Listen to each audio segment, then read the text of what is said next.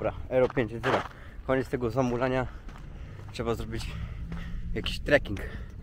Zaraz udajemy się e, w stronę miejscowości, która nazywa się Święta Katarzyna. Właśnie na cześć Świętej Katarzyny. Coś Wam o niej powiem później. Tam też znajduje się najstarszy klasztor na świecie, e, który, który jest pod jej patronatem. Teraz czekamy na ziomala, który ma nas zawieźć. Musimy zrobić zakupy na trek. Będziemy spali w ogóle na mm, górze e, Mojżesza, na górze Synaj. Uuu, i się jaram, bo to, to właśnie tam e, Mojżesz odbierał swoje e, kamienne tabliczki, te przykazania wszystkie. Jest samochód, który po nas przyjechał. E, I ciśniemy, zostawiamy dach. I kurczę, mieliśmy jechać na wycieczkę, gość przyjechał na komisariat, zobaczcie, to musimy tego przywarskiego z ucha strzelić, bo, bo się gość tutaj po prostu troszeczkę rozjuszą. Nie, tak naprawdę to musieliśmy podać swoje numery paszportów i przed wycieczką musimy zadeklarować to chyba na policji. Poszedł oddać tą karteczkę kierowca i jedziemy dalej. 有有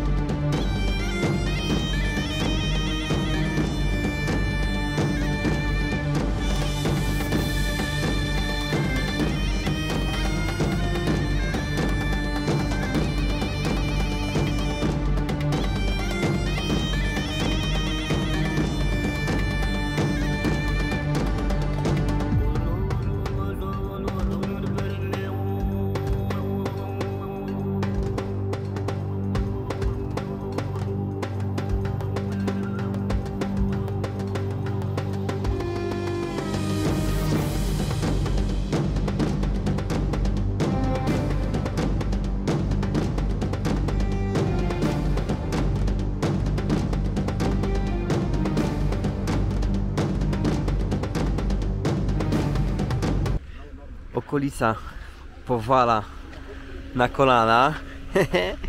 Czekamy na swojego mm, na swojego guida, przewodnika. Ciekawostka jest taka, że w Świętej Katarzynie w miejscowości mieszka tylko jedna rodzina, e, duża rodzina Beduinów.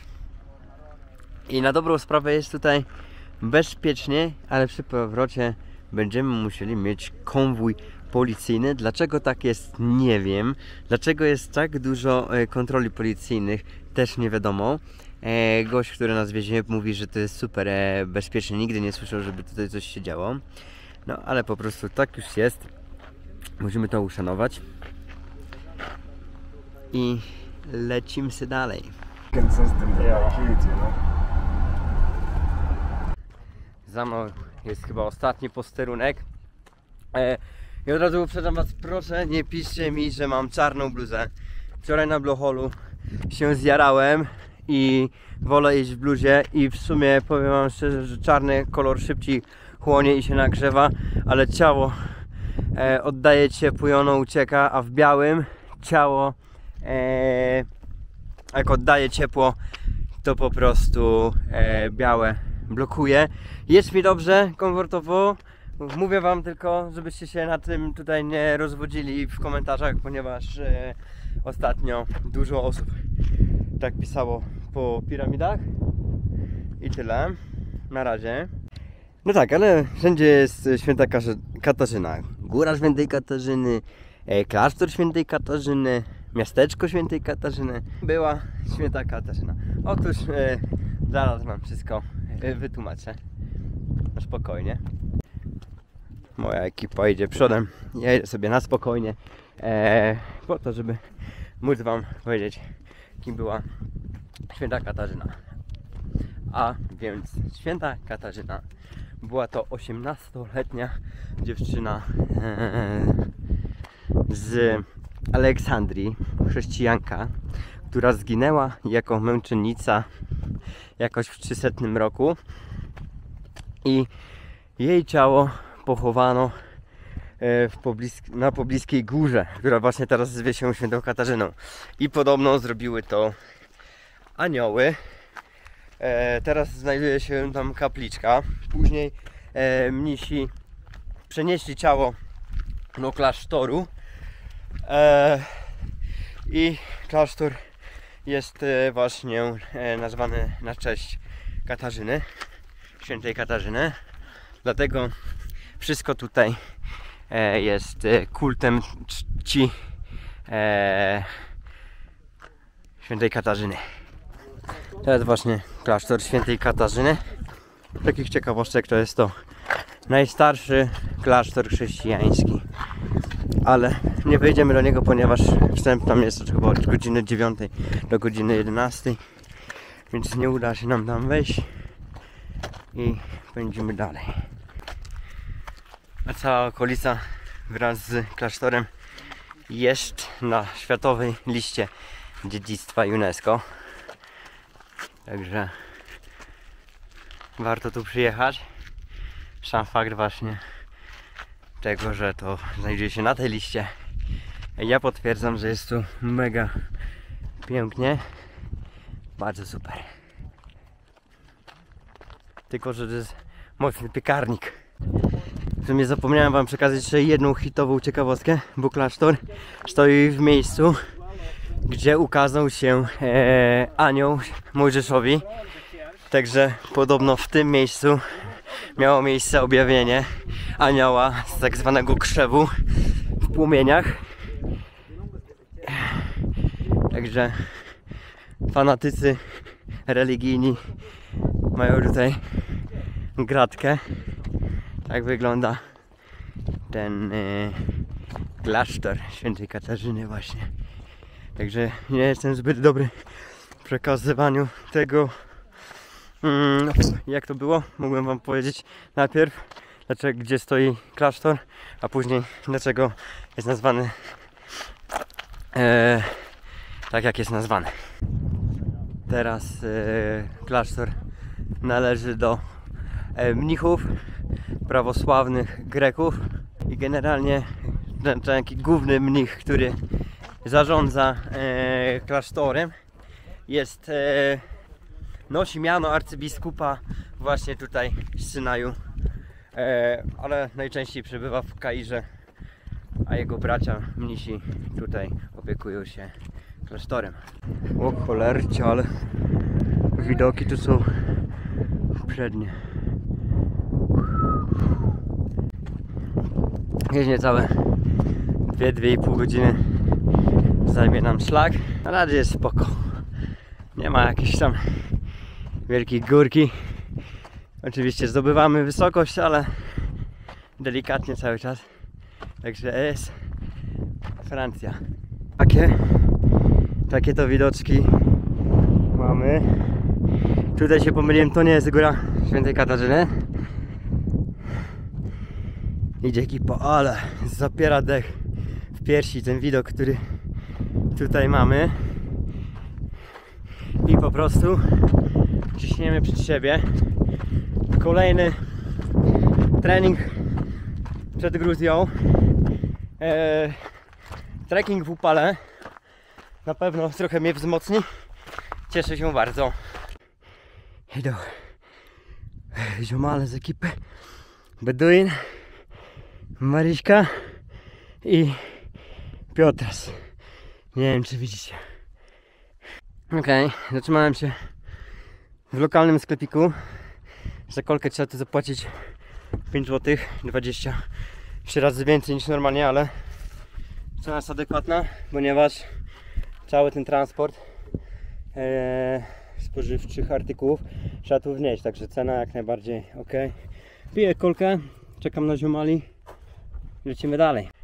Uuu, zobaczcie co tu się wyprawia. Nie wiem, czy Wam mówiłem, ale zostajemy tutaj na noc. Będziemy spali najprawdopodobniej pod gołym niebem. Także będziemy obserwować e, zachód i wschód słońca z góry Synaj, czyli Mojżesza. Tu trzeba uważać. Chyba spadają jakieś kamienie, się obrywają. Elegancko tutaj sobie dreptamy. Super. O shit. Nawet nie wiedziałem, że swoich kompanów odstawiłem tam. Nie wiem, czy ich widać. No. Ale co trening? To trening. Jakoś nie wiem dlaczego, ale zawsze biorę na poważnie takie wspinaczki. Nie po to, żeby się z kimś ścigać, ale kiedyś dużo biegałem. Tam po 20 km, 15. I powiem Wam, że lubię hajkować. Lubię właśnie taki rodzaj aktywności fizycznej. I idąc swoim takim tempem, czuję, że mniej się męczę. O. Czuję też, że zaraz będziemy na szczycie. Oh shit! Ludzie, patrzcie co tam się dzieje. Wow. Ho, ho, ho. Kurde, tylko teraz nie wiem, w którą mam stronę, ponieważ nie ma tu pana przewodnika. Może to jest tutaj? Cholera. No nic. Nie będę tutaj e, wybierał, w którą mam iść stronę, bo kompletnie nie wiem gdzie. Dlatego najbezpieczniej będzie poczekać na, na grupę. Oto tutaj taki wygodny kamień znalazłem w cieniu. I będę się napawał teraz widokiem w tym pięknym miejscu. Cisza, spokój. Mm, łyk wody i bądźcie pozdrowieni. Nie wiem ile schodków zrobiłem z tych 750, ale podejrzewam, że już tylko trochę zostało. Chyba ostatni sklepik, który mijamy. No dobre wieści, ponieważ nie muszę się martwić o, o wodę, ponieważ jak skończy mi się to wiem, że po prostu są miejsca, w których można kupić, więc nawadniam się ile wlezie, a widoki stąd są prze koza... Wow, ale będzie dzisiaj kozacki e, zachód. O, już to widzę. Spore tutaj te wioseczki, znaczy te kioski na myśli. Ale jakby dzień dzisiejszy brać pod uwagę, no to turystów oprócz nas nie ma. Chyba, że już jacyś są na szczycie, ale wątpię. To jest chyba droga na szczyt. Oficjalnie, oficjalnie Majne mili jesteśmy na górze Mojżesza. Hurra! Hip hip! Udało się to. Szczerze mówiąc, bez jakiegoś większego wysiłku. Oczywiście poty poleciały. Tak właśnie jest to pięknie. Wow. Tu jest kapliczka. W której można pewnie w której można się pomodlić. Tu się modli. Muszę odsapnąć i wracam do Was za niedługo. Powoli słońce zachodzi i jesteśmy na górze Mojżesza. 2285 chyba e, metrów nad poziomem morza. Jest to druga co do wielkości góra w Egipcie. Pierwszą jest góra właśnie Świętej Katarzyny. A góra Mojżesza to jest ta góra, na której jesteśmy. Na której chyba odebrał te kamienne mm, przykazania na tabliczkach. Nie wiem, czy to w składzie i ładzie opowiedziałem, ale wcześniej zapomniałem trochę. Będzie kosmicznie tutaj w nocy. Mamy do wyboru, że możemy spać albo w e, jakimś pomieszczeniu, albo możemy sobie wybrać i spać pod chmurką. I tutaj jest chyba takie piękne e, miejsce, dużo płaskich kamieni i wydaje mi się, że to tutaj byśmy mogli e, spędzić swoją noc. Piękne rzeczy tutaj, zobaczcie, dam wam trochę z przybliżenia. No, jestem bardzo zadowolony z tego treku. Trekking wyniósł nas po 800 e, funtów, 800 czymś, 800 dla przewodnika, 1700 dla mm, pana od taksówki. Ale jestem zdania, że to nie jest duża cena za to, co tutaj możemy e, zobaczyć i jak możemy spędzić swój czas. Jest to naprawdę spoko. Generalnie to jest tak zrobione, że na własną rękę nie możecie wejść po prostu. Moglibyście, bo trasa jest prosta, ale nie możecie, bo nie, musicie wziąć guida. A po części powiem szczerze, że wszedłem tu pierwszy, nie potrzebowaliśmy guida, tylko miałem tą jedną rozterkę gdzieś, no ale oczywiście na mapie można byłoby dojść gdzie co jak. I jelo. Troszeczkę z innej perspektywy. Ja w sumie muszę wam jeszcze powiedzieć taką ciekawostkę, kto siedzi w religii i się zna na świętych. No to z tych rejonów pochodzi jeszcze święty Anastazy Synajski. Jeden z takich ważniejszych pisarzy e, greckojęzycznych dla kościoła. Urodził się tutaj w tych okolicach e, i był opatem w klasztorze świętej Katarzyny. Także ważny gościu. Nie wiem dokładnie dlaczego jest e, uznany za świętego, ponieważ nie siedzę w takich ciekawostkach aż tak głęboko. Ale tu jest kozacko. Poszedłem gdzieś tu w inną stronę. Co tutaj mamy? Kibelek. Jest kibelek. I tam dalej mamy widoczki. Super. Wow, teraz to się robi konkret, konkret widok. I w tej okolicy możecie jeszcze znaleźć 20 różnych e, świątyń, kości kościołów, właśnie związanych z kompleksem e, klasztoru świętej Katarzyny. Wydaje mi się, że tak naprawdę e, Góra Synaj e, jest spoko, przychodzi się tutaj, jest ok. No ale cała historia i najwięcej ciekawostek e, jest właśnie e, wokół całego klasztoru, który mijaliśmy na początku. Ale robi się już zimno. Dobrze, że wziąłem sobie wziąłem sobie długie spodnie, mam buty oczywiście, skarpetki. Dostaniemy tu na pewno jakieś koce od gościa i będzie super.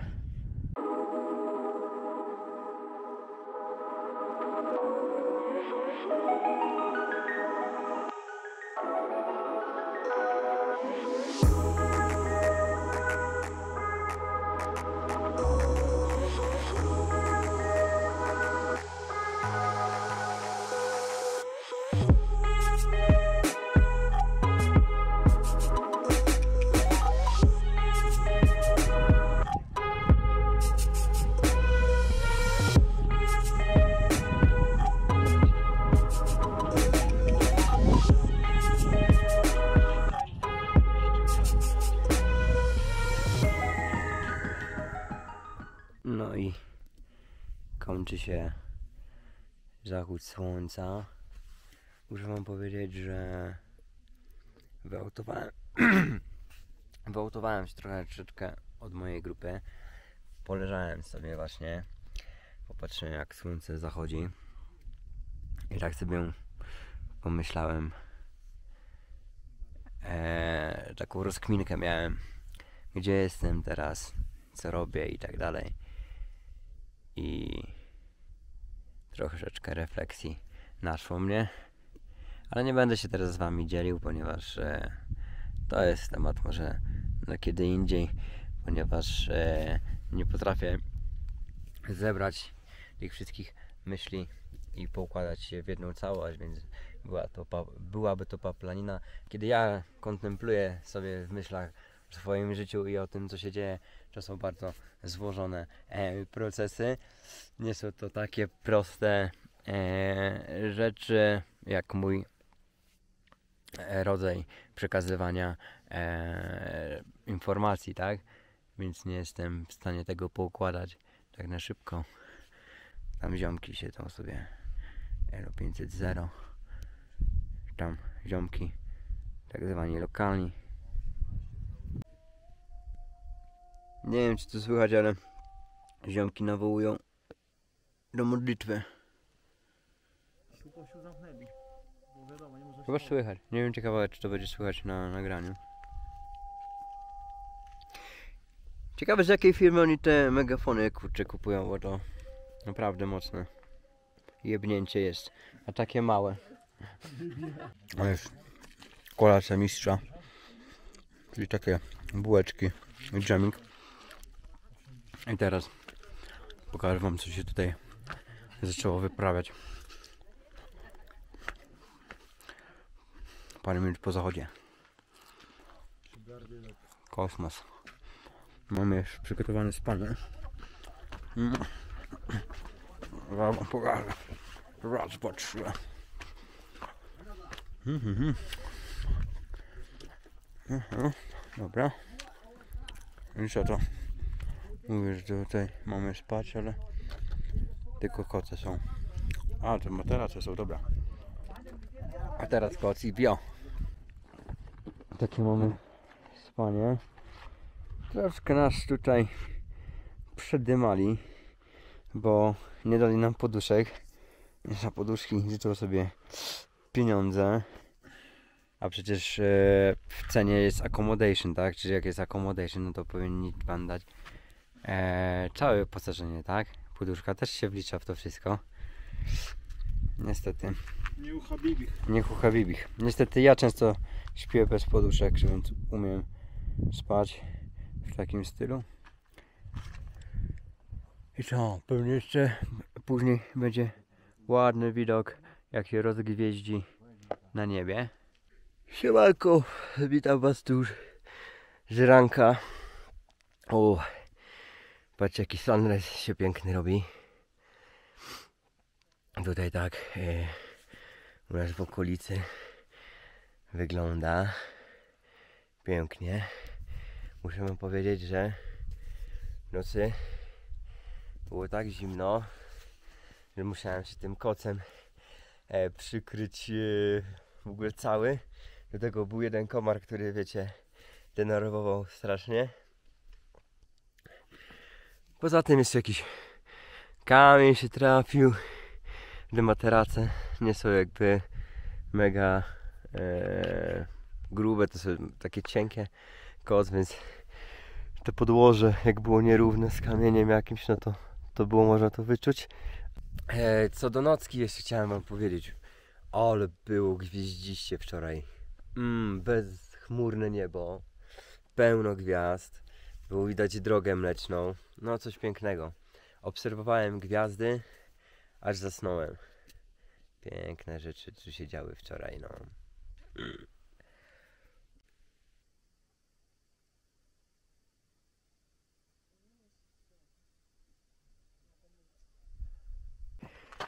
Ojej, Muszę wam jeszcze powiedzieć, że na Sunrise wchodzi tu więcej ludzi niż na taką nockę. Także już też się tutaj wszyscy zgromadzili. No jest parę osób. A wiecie jak jest parę osób z rana. Oni tu przychodzą troszeczkę wcześniej. To też was rozbudzają, ale totalnie nie mam do tych osób pretensji, ponieważ po to się tu przychodzi. Słońce już zeszło. Jest piękna pogoda i zanim zrobi się palnik, no to trzeba uciekać. Bo już dzisiaj nie zmieniałem się na kurtkę, tylko będę szedł sobie w długich. Przepiękna sceneria. Sklepiku na dole. Pyk. Ze mną schodzi ziomuś, który wczoraj nam asystował. Spotkaliśmy go po drodze. Później go nakarmiliśmy. No i dzisiaj towarzyszy mi w. Piotrek idzie z Mary. Także każdy idzie w jakiejś parze. Ach. Piękne widoczki. Mmm, cudownie. Mm. Widzę, że sobie ktoś tutaj podjechał wielbłądem. Jakiś beduin. Ale piękna sceneria. Z wielbłądem w tle. Aż zrobię mu zdjęcie. No to żegnamy się z górą Mojżesza. To chyba jest teraz taki ostatni, najpiękniejszy widok pod słońcem.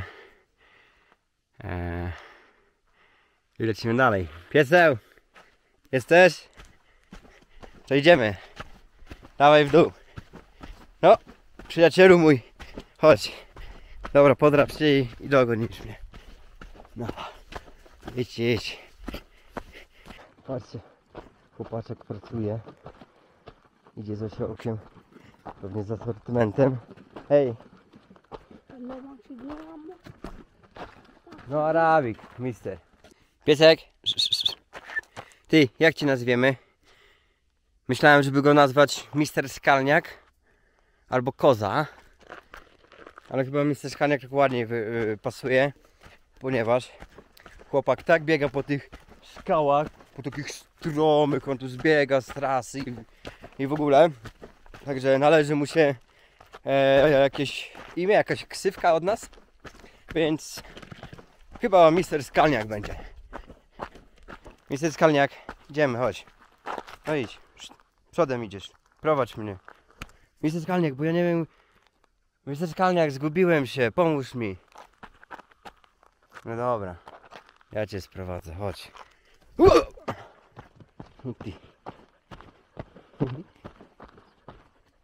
Co, wstydzisz się kamery, tak? A tak to biegnie, cały czas biegnie przede mną. I okej, jesteśmy już na dole. Tam jest y, klasztor. I co tutaj można powiedzieć o terenach tego właśnie półwyspu Synaj?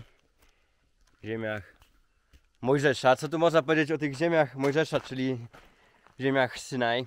Eee, no to tak, tutaj na samej górze właśnie Mojżesz zawarł e, pakt, czyli Bóg zawarł pakt z ludem Izraela. E, I tutaj były wielkie spory przecież o tą ziemię, ale przed jeszcze tymi sporami był ten klasztor. I jak widać, on ma mury obronne, bo był właśnie bardzo często najeżdżany e, i atakowany, więc e, wzniesiono 12-15 metrowe e, mury wokół. E, jeżeli chodzi tutaj o te spory między Egiptem, Izraelem i, i w ogóle jeszcze może wcześniejsze, totalnym amatorem, to jest taki głębszy temat, ale, ale taka podstawowa informacja, że po prostu o tych, na tych ziemiach, o te ziemię bardzo, bardzo walczono, ponieważ obie religie tutaj mają coś e, wspólnego, mają wspólne mianowniki. Podsumowując jeszcze sam trekking, nie jest to, to jakaś e, wymagająca trasa. Dwa, dwie do trzech godzin powinniście to zrobić w zależności w jakiej jesteście kondycji fizycznej. Oczywiście nikt nikogo tutaj nie gania. To ma być przyjemność. Każdy hiking, na który się wybieramy, ma Wam sprawiać przyjemność. I możecie się zajeżdżać. Pamiętajcie o wodzie. No, żeby 2 litry to mieć przynajmniej. Jakieś snaki. Ja Was wprowadziłem ostatnio w błąd, bo powiedziałem Wam, że kola e, 5 zł kosztowała na górze. Kosztowała 2 dolary tak naprawdę. Później gość mi zwrócił uwagę, żebym dopłacił. Także E, oczywiście fajnie można sobie kupić e, coś tam, ale jak nie zabierzecie ze sobą snaków i byście chcieli pojeść i popić, no to naprawdę wyjdzie wam bardzo dużo pieniążków, żeby, żeby zaspokoić wasze pragnienie i głód tam na górze. Poza tym dziękuję wam, że byliście. Jesteście najlepsi i pewnie jesteście zdrowi. Tyle razy już wam życzyłem zdrówka, ale nadal go wam życzę. Przede wszystkim zdrowie, uśmiech od ucha do ucha i widzimy się e, w następnym odcinku. Także życzę wam miłego dnia, popołudnia. Trzymajcie się cieplutko i do zobaczenia.